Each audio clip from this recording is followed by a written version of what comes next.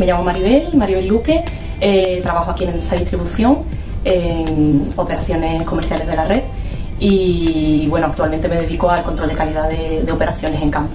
Eh, me parece una buena oportunidad para aprender algo que me pudiera revertir en el ámbito laboral.